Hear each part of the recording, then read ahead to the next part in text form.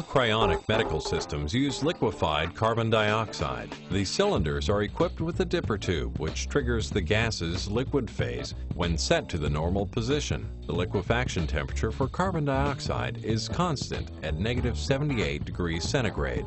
Because the cartridge supplied with the portable system is not equipped with the dipper tube, it should be kept in a downward position when the system is in use.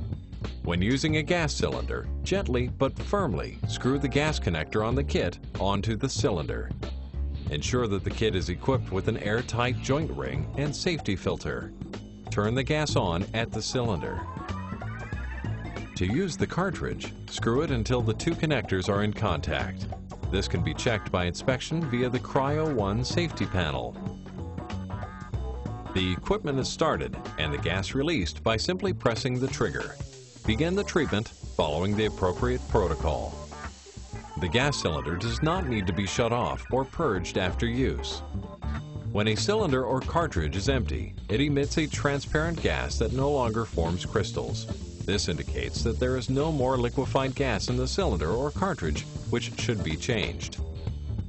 To change the cylinder, the system must be purged in order to reduce the gas pressure. Shut the cylinder off and expel the gas by pressing the trigger.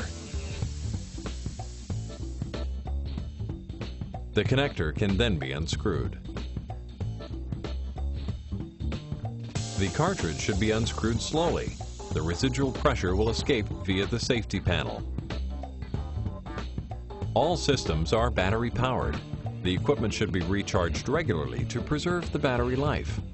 For is equipped with a circuit breaker switch, this should always be turned to position I for recharging. The red light on the charger indicates that the battery is charging. The green light indicates that the battery is fully charged. The charger cuts out automatically to prevent overcharging.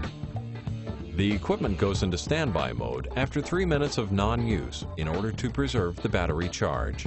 Refer to the instruction manual for any specific information on the cryonic model that you are using. To begin the treatment, follow the appropriate protocol.